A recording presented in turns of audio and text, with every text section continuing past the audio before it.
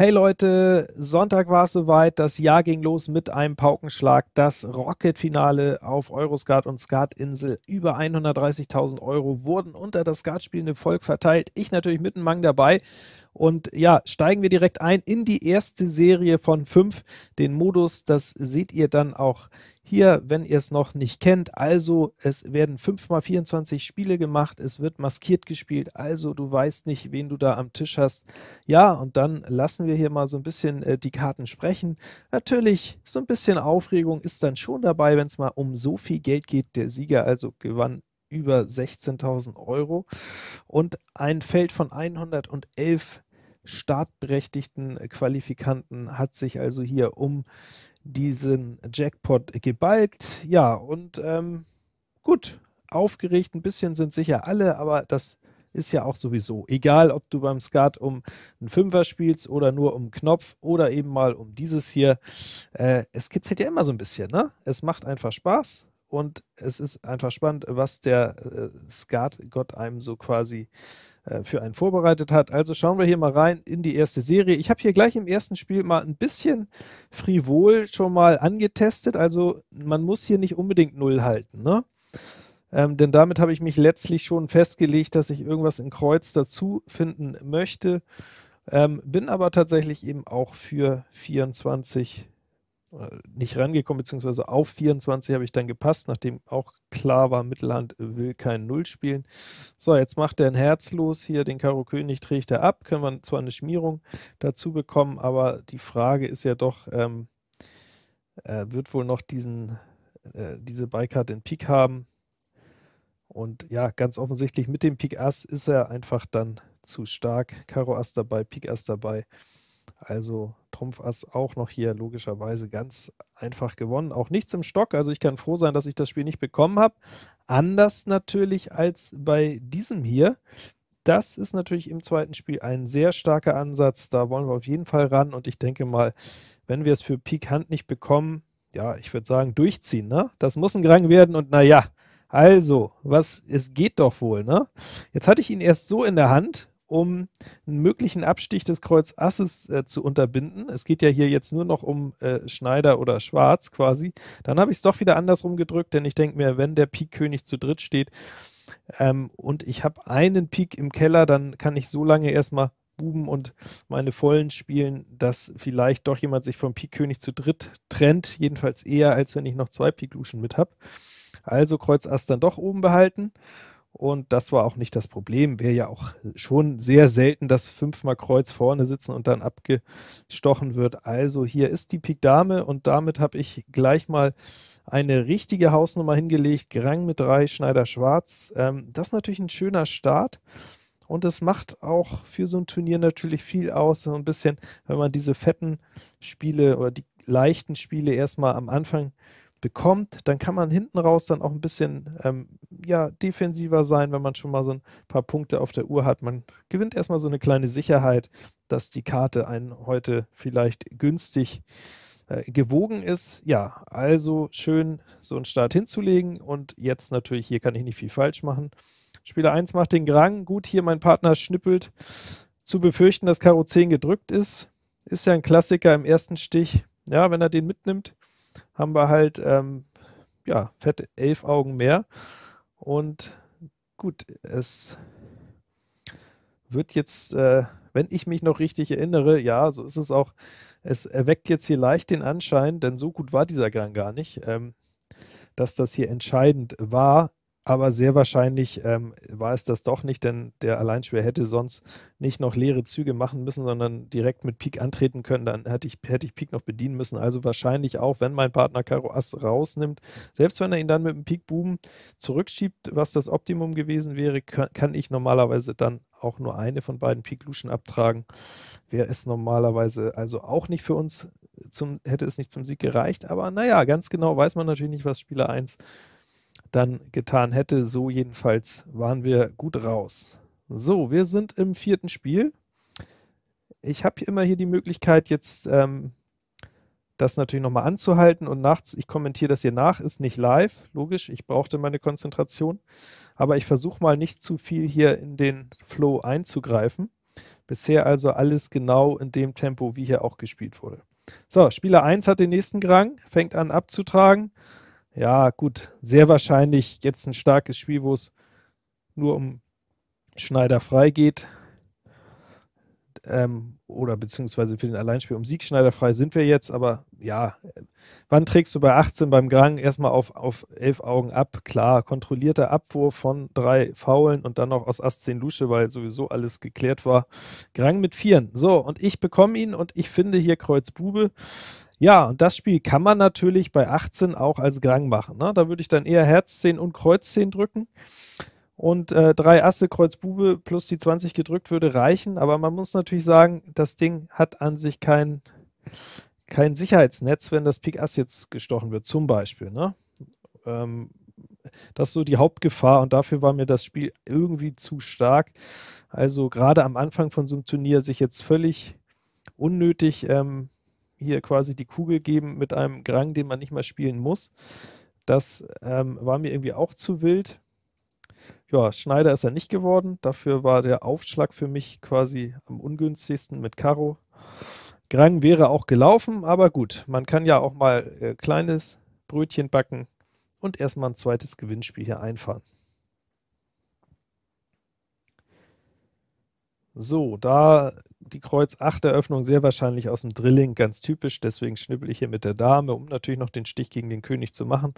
Jetzt Einschub ins äh, Herz Ass, möglichst den Alleinspieler nicht noch irgendwie abwerfen lassen, dass er nicht den Kreuz König abwerfen kann. Ja, und das ist hier ein bisschen Enttäuschend muss man natürlich sagen, dass alles, was mein Partner hier noch zu geben hat, ist tatsächlich eine Dame, sodass wir trotz dieses Schnitts, äh, Schnittes hier bei 30 Augen stehen bleiben. Aber guckt euch mal diese Batterie an. Spieler 1, muss man sagen, jetzt nach sechs Spielen hat also auch richtig gutes Material. Ein Traumgrang, erst ein mit Vieren, jetzt ein mit Zweien. Schneider, also ja, kann sich bisher höchstens Spieler 3 könnte sich jetzt ein bisschen zurückgesetzt fühlen und jetzt versucht er das auch zu ändern und startet mit einem Karo. Gut, mal gucken, ich habe 4 dagegen, aber da geht der mit der, dem Kreuz Ass so schnell ran, obwohl die 10 hinten blank ist. Das ist natürlich glücklich von ihm getroffen. Hat er die Dame König gedrückt? Nein, hat er sogar noch in der Hand. Ja, das war natürlich eine sehr glückliche Entscheidung. Mit Ass König Dame kann man natürlich auch mal auf den Trichter kommen zu schnippeln. So, ich versuche ihn jetzt möglichst erstmal anzuspielen, damit hinten raus nicht irgendeine Trumpfgabel möglich ist. So, und jetzt muss ich mich natürlich doch entscheiden. Er hat fünf Trumpf, ähm, offensichtlich. Er hatte die drei Kreuzen oben. Ich habe eine Pik gesehen, hat er jetzt quasi ein und eingedrückt, dass er noch ein äh, Pik oben hat, also Pik Ass hatte ich, Herz Ass hat mein Partner, oder hatte er jetzt doch zwei Pik oben. Das ist jetzt äh, quasi schon die ents entscheidende Szene, denn ähm, wenn ich jetzt falsch treffe, dann kann er stechen, die andere Farbe wieder rausschieben und hat dann die Trumpfgabe gegen meinen Pik Buben. Ne? Ich habe gesehen, er hatte Pik. Mein erster Instinkt hat mir gesagt, er wird jetzt bei dem Blatt vielleicht dann doch zwei Herz gedrückt haben und zwei Pik drin haben. Ne? Genau weiß man es natürlich nicht, also deswegen habe ich jetzt hier Pik weitergespielt und zack, war es verkehrt. War es verkehrt und jetzt kommt genau das, was ich angekündigt habe. Jetzt kann er den Herz wieder rausspielen. Ja, und was war der Grund? Er hat 20 Augen gedrückt, jeweils eine Lusche in der Hand. Und wir hätten halt jetzt hier einen Stich mehr machen können. Karo Dame, Pik König, mein Bube und es sind genau 69, also genau neun Augen waren mehr drin.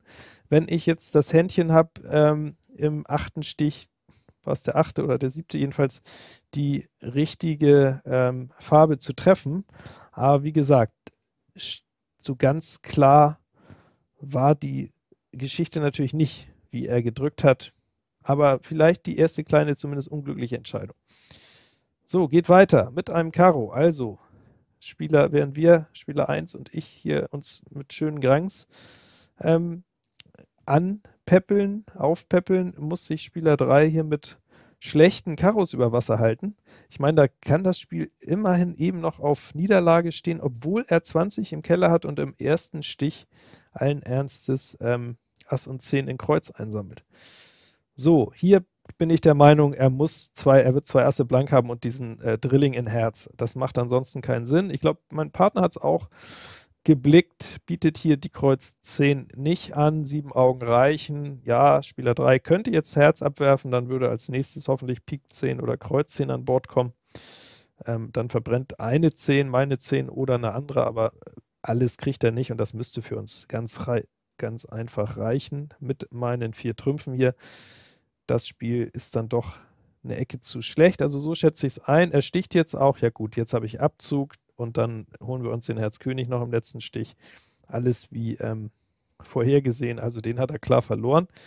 Also bei Spieler 3, ja, zweimal einfach Karo, Spiel 7 und 8, ein gewonnen, ein verloren. Das ist quasi jetzt kein guter Start, aber ähm, so ist es nun mal, wie beim Skat.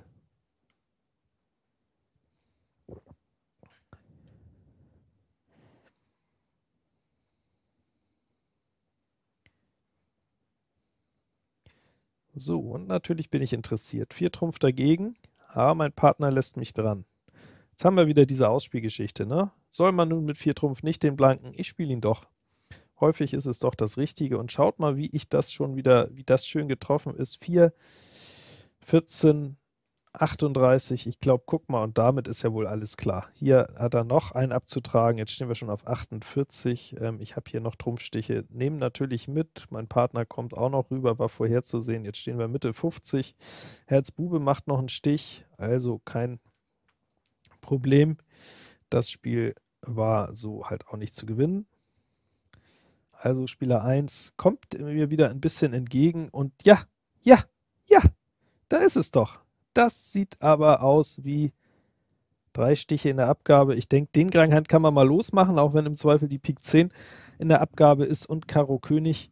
Dafür haben wir ja in Vorhand die Kontrolle, können den Buben holen, können erst das blanke Herz Ass abziehen, können dann erst mit dem Pik König gucken und wenn der verweigert, wird die Pik 10 rausschieben, dann können wir immer noch ein bisschen steuern mit Ass Lusche und Ass König. Also ich glaube, ich weiß nicht, ob er unverlierbar ist, bin jetzt auch ein bisschen denkfaul in jeder Konstellation, aber auf jeden Fall erscheint es ausgesprochen schwierig, den zu schlagen, auch wenn da so eine Farbe schon mal ganz lang steht. Guck mal, da sind erst 18 gefallen in Pik, dann nehmen wir jetzt einfach hier den Kreuzkönig mit, ziehen die Pik 10 ab, dass wir nicht eingespielt werden können, Kreuz wieder raus, kommen wir wahrscheinlich schön in Hinterhand und dann kann hier auch nichts mehr passieren, auch wenn sie schon 38 liegen haben. Mehr gibt es dann auch nicht, Karo König wäre ich jetzt hier immer entsprechend losgeworden. Also ein Gerang Hand, das ist natürlich erfreulich. Nicht viele Spiele bisher, naja, bei 10 sind äh, drei schon ganz in Ordnung, aber vor allen Dingen sehr schöne Spiele. So, hier sind wir jetzt auch schon so ein bisschen im gelben Bereich mal wieder. Hier die 20, ne? Drei, äh, zwei Buben, zwei Asse, zwei Möglichkeiten, den sechsten Trumpf zu finden. Und jetzt läuft mir Spieler 1 hier in meine fünf Trümpfe beim Kreuz und ich bin eine Farbe frei. Also, und mein Partner sticht noch die Trumpf 10 heim. Ich glaube, das Spiel können wir hier nach dem dritten Stich erkennbar auch schon abhaken. Da wird er den nächsten vielleicht wieder gewinnen. Mal gucken, ob er Herz 10 noch oben hat. Mal gucken, ob es vielleicht sogar nur ein Viertrümpfer ist und mein Partner nochmal stechen kann. Nee, das ist nicht der Fall. Ja, also wahrscheinlich glücklich, dass ich nicht rangekommen bin. Und ja, diese 20, die sind eben auch schon so ein bisschen grenzwertig. Ne? Aber natürlich zwei Asse, zwei Buben, zwei Chancen, den sechsten Trumpf zu finden. Du sagst typischerweise noch ein bisschen bisschen machst du den Schnabel noch auf. Ähm, Kreuz 10, äh, Kreuz 8 hätte mir auch gepasst als sechster Trumpf, aber dann wäre ich gegen alle Trümpfe gelaufen, also war wohl besser so. Und jetzt haben wir wieder zwei Bauern, drei Asse und da liegt der Alte. Es fühlt sich an wie ein Lauf, es fühlt sich an, als äh, geht hier alles auf Schienen. Die anderen kriegen äh, die Spiele, die dann auf Tod stehen. Ich kriege die Spiele, wo der Alte liegt oder Ass und Bauer. Hab hier den nächsten fetten Grang. Gucken wir mal, geht ja nur sehr wahrscheinlich geht es hier um Schneider. Also auch der ist nicht unverlierbar, wenn es einen Abstich gibt direkt zum Beispiel. Aber das wollen wir nicht hoffen und das erwarte ich jetzt auch nicht ohne Reizung. Wenn also Herz glatt steht und piekt, dann ist jetzt hier ein Schneider drin. Einschub in den Buben, okay. Dann würde ich sagen, nehmen wir den nächsten möglichen Einschub raus, das blanke Ass weg und dann gucken. Ja, gut, also Herz steht zu dritt. Dann ist natürlich kein Schneider möglich. Pik steht vielleicht dann auch noch zu dritt. Das ist jetzt natürlich alles kein Problem. Verlieren können wir nicht. Jetzt den Herz König abwerfen, so günstig werden wir ihn sonst auch nicht mehr los. Vielleicht gehen wir noch einen Pikstich ab, aber das Spiel ist gewonnen. Also noch ein Grang mit Zweien und nach zwölf Spielen muss man sagen, also genau so, so nicht anders habe ich mir hier den Start in dieses Turnier erhofft. Muss auch sagen, jetzt noch nicht die krass schwierigen Entscheidungen hier an sich so ganz easy. Manchmal ist das Spiel halt auch ganz easy. Ja, und dann kommt man mit solchen halbseidenen Dingern auch gar nicht erst in Versuchung. Sollte man sich sowieso verkneifen, aber ich kenne genug Spieler, die dann äh, solche sehr, sehr halbseidenen Spiele, vielleicht die 30, 40 Prozent Chance haben, nur trotzdem nehmen. Äh, das haben wir hier zum Glück nicht nötig. So, und jetzt muss ich mir doch mal überlegen, wie spiele ich weiter? Warum übernimmt mein Partner nicht? Ich glaube, der hat irgendwie den Kreuz Buben. Und jetzt wollte ich natürlich äh, da was sehen und ich habe mich hier wahrscheinlich mit diesem Trumpfzug dann doch ein bisschen selbst umzingelt. Nehmen jetzt mit. Ja, und ich glaube, da haben wir es. Er hat den Fünftrümpfer mit viermal Karo dabei. Ne? Er hat den Fünftrümpfer, vier Karos dabei, eine Kreuz. Also auch gar nicht so stark das Ding in Hinterhand. Blankes Einspiel kam ihm in dem Fall gelegen und jetzt auch vor allen Dingen, dass ich den Trumpf dann rüber gespielt habe. Wenn ich da Kreuz, ich meine, muss ich natürlich auch drauf kommen. Kreuz Ass wäre die richtige gewesen, Herz 10 wäre vielleicht auch noch möglich gewesen. Ähm, fahren wir natürlich besser. Die zweite Trumpfrunde kann er sich, wird er wohl spielen müssen. Und dann geht ihm, ich glaube, dann kommt er zu kurz und wird das Spiel im Zweifel verlieren. Also Aufschlag ist immer so eine Geschichte. Manchmal ist Blank cool und dann gibt es so genau diese eine Konstellation, äh, wo der Alleinspieler wirklich auf eine lange Farbe sein Spiel aufgebaut hat und sonst vielleicht ein bisschen kurz kommt, wo es dann eben nach hinten losgeht. Im Mittelwert, ähm, denke ich, ist das aber eine statistisch, also eine gute Spieleröffnung. Ja, alle Situationen kann man nicht abdecken. Hier sehen wir einen Sechstrümpfer, offenbar noch mit Pik Ass, deswegen ziehe ich jetzt direkt auch Karo 10. Ich muss äh, gucken, was der noch dabei hat. Andererseits, wo er mein Partner jetzt Karo nicht direkt rausnimmt und hatte ich jetzt irgendwie auch nicht mehr das Gefühl, dass es noch was bringt, direkt Kreuz Ass hinterher zu ziehen. Das war also auch wieder ein sehr gutes Spiel. Ja, und das äh, vielleicht schon eher eine Karte, die ich sonst auch mal geneigt bin, 18 zu bieten habe ich mir hier aber aufgrund des sehr guten Zwischenstands auch verkniffen. Wir haben auch eine Reizung wieder am Tisch, also vier Trümpfer ohne drei in Mittelhand. Brauche ich im Moment nicht. Eine Farbe angetestet, für gut befunden, jetzt von unten den Klärungszug, Stechfarbe gefunden, soweit wie geplant.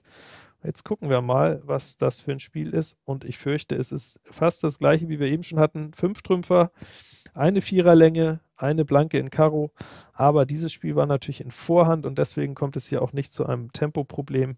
Darüber hinaus mit dem Alten, also ein Zwischenzug mit dem Alten möglich, Spieler 1, also hier ein Standardspiel vorschriftsgemäß fabriziert und deswegen auch leicht gewonnen. So, hier ist jetzt die nächste Situation, wo ich ja so ein bisschen über die Stränge schlage. Ne? Also den Pik habe ich hier schon mal ähm, angetestet den siebten Trumpf finden, irgendeinen Ass finden. Also es gibt ja schon äh, durchaus hier fünf Trümpfe und noch drei Asse, also acht Karten, die das Spiel sofort so verstärken, dass man es auch probieren äh, möchte. Aber trotzdem war vielleicht sogar schon eine Nuance zu viel ähm, riskiert. Anyway, bin ich rangekommen und Spieler 1 macht hier den Grang und hat natürlich im Aufschlag Glück, dass ich irgendwie schon sicher mit zwei Bauern äh, ist Pik sicher schon die, die korrekte Eröffnung, versuchen hier die, das blanke Ass zu treffen, versuchen die 10 hochzuspielen. Ich hatte auch schon das Gefühl, ich kann es mir nicht erlauben, den König ähm, in den Ring zu werfen. So leichtfertig, häufig fehlt dann mal ein Bild und jetzt gewinnt er den Krang mit 80 Augen, also ganz leicht. War auch zwischendrin ganz routiniert auf die Karo 10 erst einmal abgeworfen, den zweiten, obwohl es dann nur der König war, sofort gestochen. Also da sieht man mit dieser Geschichte einlaufen lassen, den zweiten erst stechen, wird gegen so eine 4-2 Karo-Konstellation eine spätere Übergabe kaputt gemacht. Das hat Spieler 1 offenbar auch drauf. Ähm, und zwar im Sekunden, im Millisekundenbereich, also Spieler 1 weiß, glaube ich, hier sehr genau, ähm, wie dieses Spiel funktioniert. Wir haben ja sowieso hier in diesem Feld von 111 Spielern wirklich sehr viele Top-Spieler. Alles quasi, was auf dieser Plattform spielt und Rang und Namen hat, ist fast ausnahmslos mit dabei. Und also hier wird schon sehr, sehr guter Skat gespielt. Ähm, davon kann man ausgehen. Und das ist das, was wir hier auch sehen. Bisher letztlich, soweit ich das beurteilen kann, noch keine groben Schnitzer. Ne? Spieler 1 hat auch eine starke Karte, ich habe eine starke Karte. Spieler 3 kriegt nicht viel, hat dann mal einen äh, in den Sand gesetzt. Gut, Spieler 1 hat ja sogar inzwischen auch schon gegen meine starken Trümpfe zwei Spiele verloren, aber der setzt hier nach und hat einfach das Material.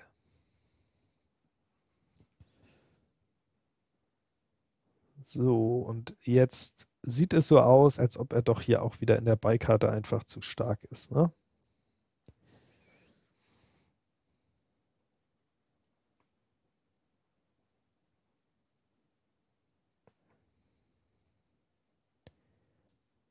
Ja, mein Partner hat den Rest. Der, der war ohne Vieren, aber er hat, glaube ich, voll gedrückt. Er hat beide Trumpfvollen jetzt verstechen können. Gut, wenn ich ihn den zweiten nicht verstechen lasse, dann hat er am Ende noch den, den Trumpf über wahrscheinlich. Ähm, gut.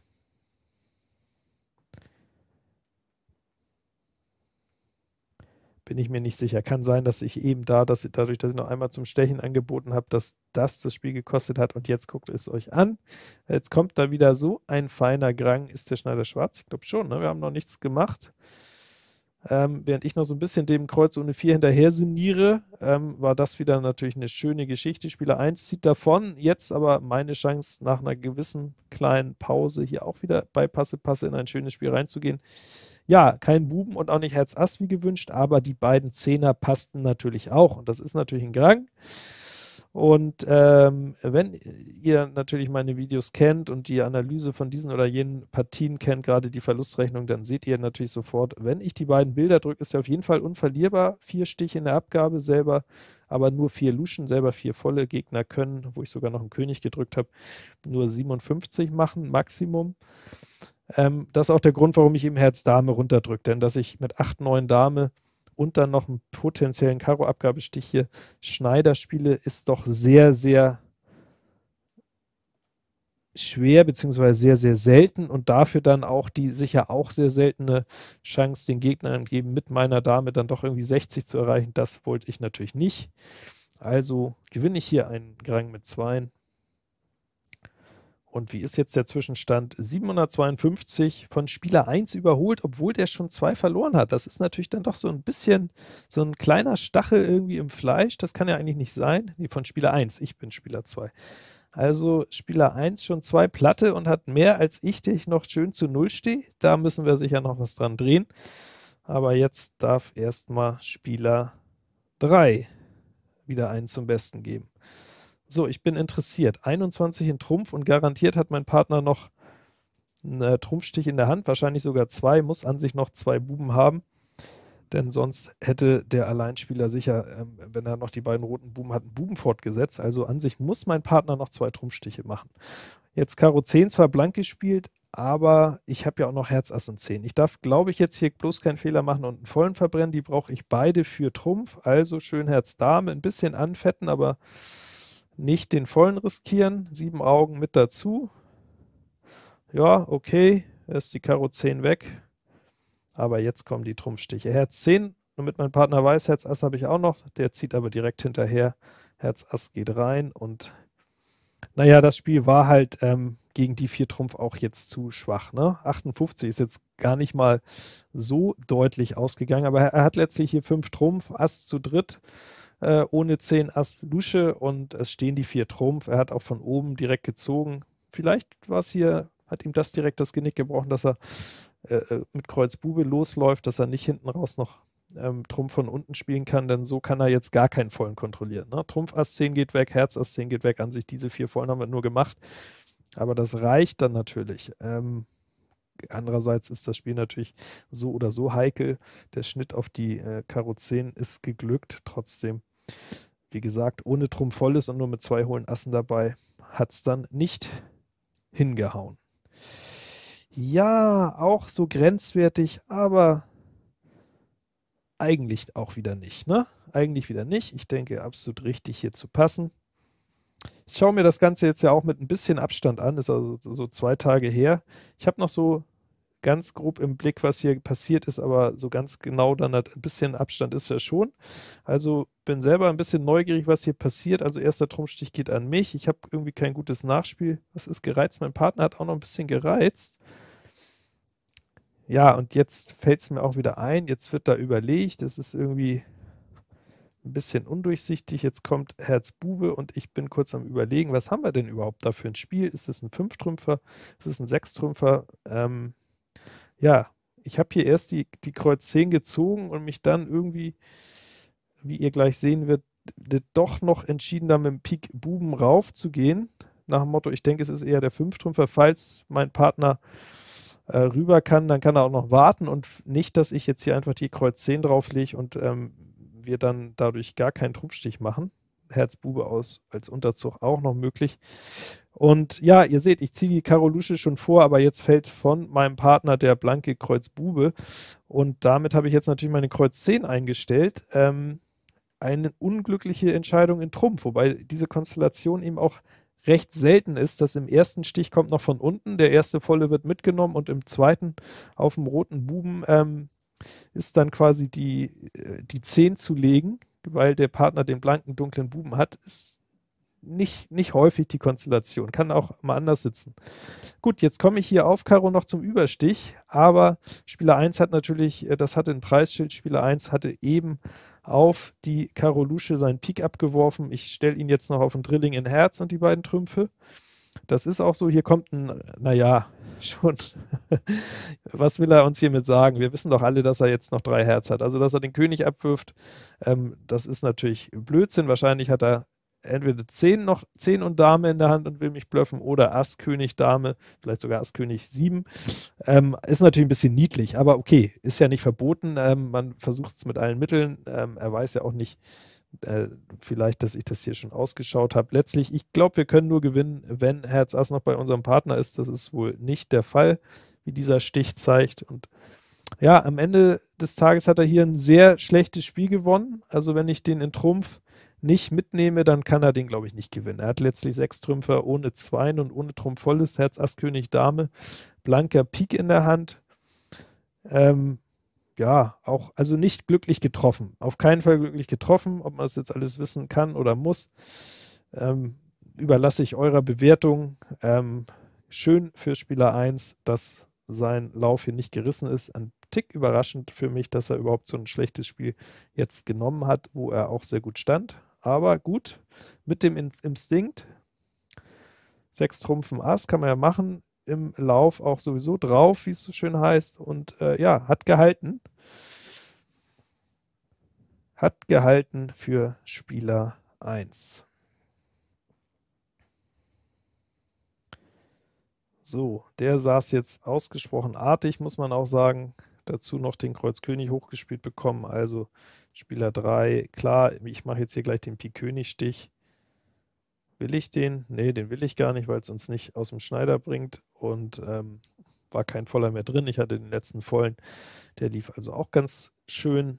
Gucken wir kurz auf den Zwischenstand. 910 Spieler 1. Ich liege gut im Rennen, 792. Wenn du auf 24 Spiele immer die 800 machst, also 100 pro drei Spiele, 100 pro Päckchen, dann wirst du hinten raus sehr wahrscheinlich hier unter die Top 5 auf jeden Fall unter die Top 10 kommen. Also wenn man diesen Schnitt so halten kann, dann ist alles in Ordnung. So.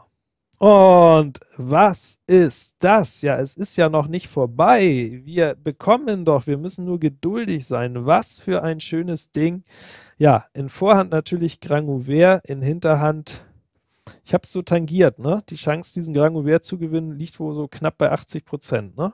Denn du verlierst ihn natürlich nur, wenn im Aufschlag jetzt sehr wahrscheinlich Herz 7 kommt und gestochen wird oder halt Pik auf den Tisch kommt und gestochen wird. Ähm, wenn wir Pik mal ausschließen, weil es unwahrscheinlich ist, die Chance, dass das in Herz passiert, 50-50 äh, über den Daumen, dass Herz 7 in Mittelhand sitzt, 50-50, dass Pik Bube in, äh, Karo Bube in Vorhand sitzt und noch ein paar Prozent, dass einer davon liegt. Aber ich habe es mir hinterher angeschaut. Ich hätte diesen Grand Ouvert tatsächlich verloren. Also Herz 7 sitzt in Vorhand, Karo Bube sitzt in Mittelhand. Ich habe ihn natürlich nicht gespielt, nicht in so einem Turnier, sondern ein sehr schönes 192er Spiel hier mitgenommen. Schneider angesagt, schwarz gespielt und jetzt liege ich mit 6 zu 0 Spielen, also mit ganz bescheidenen ähm, hier noch kurz die Kontrolle. Ist Herz 7 vielleicht im Stock? Nein, war es nicht. Ähm, so musste ich mir den Stand hinterher nochmal anschauen. Ja, also mit sehr bescheidenen Spielanteilen, im Prinzip 6 zu 0 ist jetzt auf 8 Päckchen nicht besonders viel. Ein sehr schönes Ergebnis, 1034, den Tisch dann, äh, den Tischsieg Spieler 1 dann doch noch abgeluchst, wobei das natürlich, wenn man so will, ein uninteressanter Zwischenstand ist. Und ja, ein bisschen Spoiler-Alarm. Wer noch nichts von Endergebnissen hören will, vielleicht mal 10 Sekunden muten. Also Spieler 1, den ich hier am Tisch habe, ist am Ende unter den Top 3 gelandet, ist Dritter geworden, also auch ein sehr guter Spieler, sehr vernünftiger Start auch in das Turnier und ich beende diesen ersten Versuch hier mit 1034, 6 zu 0. Ja, und dann äh, schauen wir die nächsten Tage, wie es mir in den anderen Serien ergangen ist. Ähm, bleibt so schön, bleibt dran und wie immer, gut Blatt.